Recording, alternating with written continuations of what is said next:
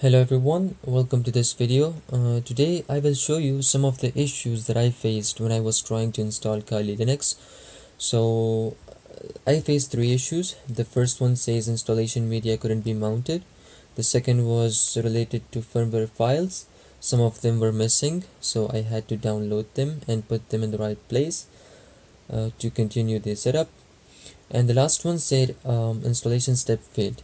So in this video we will co cover all of these issues. I'll show you how we can solve each one. And uh, let's begin with the first one. Installation media couldn't be mounted. Uh, okay so after selecting the language the location also um, the language for the keyboard um, you will face the first issue. It will say your installation media couldn't be mounted. All you have to do is to select no and click on continue. Again click on continue. And now select execute a shell double click on it and again click on continue. And now we are in shell and there are a few commands that we need to uh, run in this shell um, to solve this issue. So the first command is uh, what was it? Uh, blkid hit enter and it should list all the drives.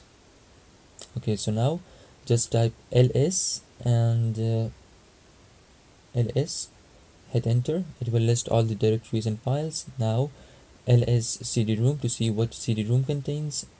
There is nothing so we should mount the usb drive into it. So mount hyphen t uh, and then type of the um, USB drive which is VFAT or whatever it's called. And then just space and the name of the drive that contains the Kali Linux ins uh, installation files. So we can see that uh, this drive says it's, it's Kali Linux it contains these files and the name for that is sdb1 so just type that name there. It might be different for you so make sure you uh, uh you type the right name. And then select the directory where you want to mount them cd-rom and forward slash just hit enter. And now if we run the ls cd-rom command we can see that all the files are mounted all the installation files are mounted into the uh, cd-rom directory. These are the files. So we are done with the first issue, type exit at and uh, hit enter. And now select detect and mount installation media, double click on it and the setup should continue without any issues. Now, so we are done with the first issue. Let's have a look at the second one. Okay, so everyone, we just saw how we could solve the uh, first issue. Now it's time to move on to the next issue, firmware files missing. Uh, so let's have a look at this picture. You may see a message like this or you may not see. If you don't see one it's good. You can uh, continue. Uh, if you do see this issue then I'll show you how you can fix this as well. So don't worry about this Debian thing okay? Um, uh, it's you will see this exact same message for the Kali Linux as well uh, but the files will uh, differ of course. Uh, so I'm gonna show you the, uh, the place where you can download all the missing files so don't worry. Just, just see what I'm doing. Um, so it says the missing uh, firmware files are these two one and the other one. So um, I've um, written this name in this document so I'll just uh, copy it now. And now open your uh, favorite uh, web browser and type uh, debian um, packages. Hit enter and uh, the very first website it says packages.debian.org just click on it open it. And now just scroll down until you find this part. It says search the contents of packages. Make sure that you come in this right place. So now um, type that name in here. I'm going to just call paste it here the keyword. Um, now select the third option. Make sure distribution is stable and architecture is any. Now click on search so now it says found one result and uh, here is the file that we are looking for and this file is located inside this package okay? So this means that if we uh, if we just uh, download this package it will solve our, our problem because it contains this file. Click on it and it will show you this page. It shows all the contents of uh, this package this one so what what I'll do now is I'll search and make sure that that file is located in this uh, that file is one of the contents of this package. So as you can see now uh, this file is located inside this package so we are good to go. So we need to download this package by coming down uh, until we find this part download firmware misc non-free under architecture you will see all click on it and it will bring you to this page. And uh, just uh, click on any of these I'm gonna say Asia first link because uh, I'm I'm in Asia currently. So click on it. And uh, it will tell you that this file cannot be securely downloaded okay? So just ignore that because these files are safe. Uh, so keep and keep anyway. I'm not gonna click on this because I already have this file downloaded.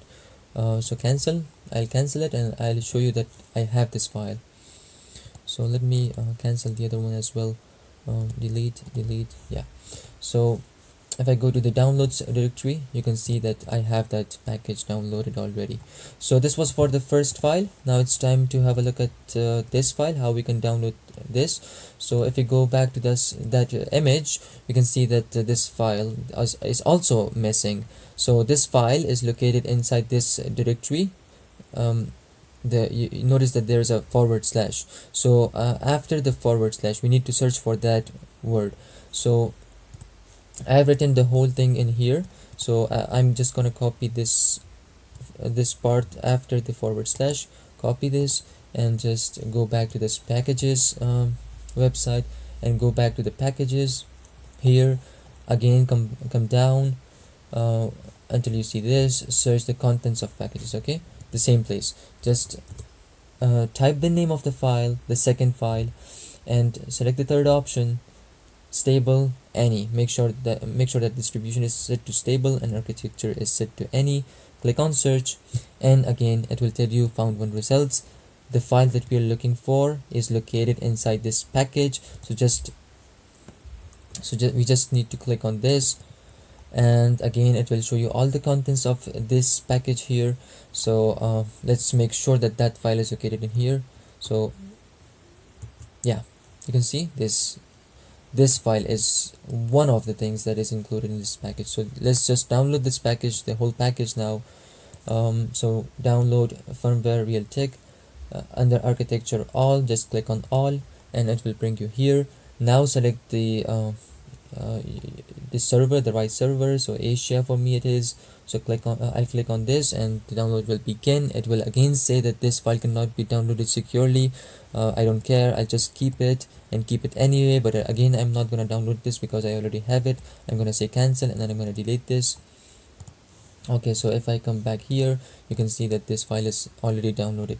Okay uh, now uh, the next step is to just uh, copy paste these two files uh, into another USB drive. So I'm gonna plug in my USB drive into my laptop. And uh, now uh, okay it's detected.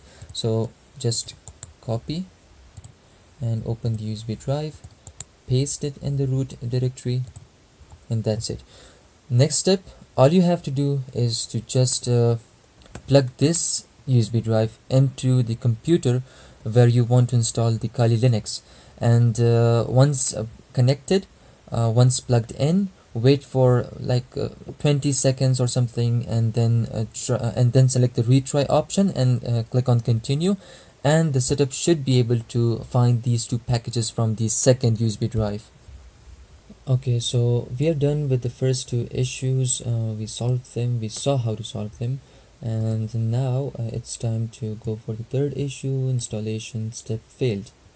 Uh, okay so when selecting and installing software uh, the the installation process will encounter an error. It will say um, installation step failed. So um, here is the um, error. You can watch it you can read it. So all you need to do is click on continue and then um, execute a shell double click on it continue and uh, the shell will open once again. And now type ch root space forward slash target and hit enter. Now type uh, cd space uh, forward slash etc uh, oh sorry uh, etc forward slash uh, and uh, apt hit enter. And now type nano space sources dot list and hit enter. Okay so the sources dot list file will open. Now all you have to do is to remove that hashtag sign as well as the space uh, from the first part of the line so you can you can do that using the uh, backspace key. Just remove them both. Now we're good to go. The deb is now the d of deb is the first letter in this line. That's good. That's all what we want. So as you can see that the line the color of the line turned green. That means it worked. Um, we are now good to go. So just uh, hold control button and uh, click on, uh, on and press X button.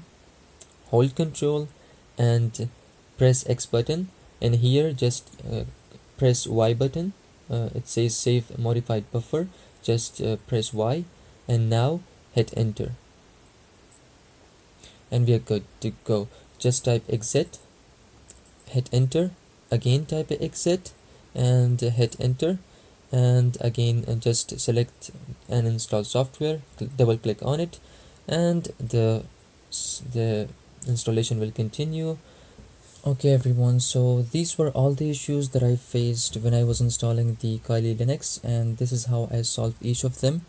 Uh, I hope this video helped. If it did um, you can show your appreciation by liking this video and you can go even one step further and subscribe to my channel if you want to see uh, more solutions on issues related to Linux operating systems uh, especially Ubuntu and uh, Kali Linux. So yeah thanks for watching and see you in the next videos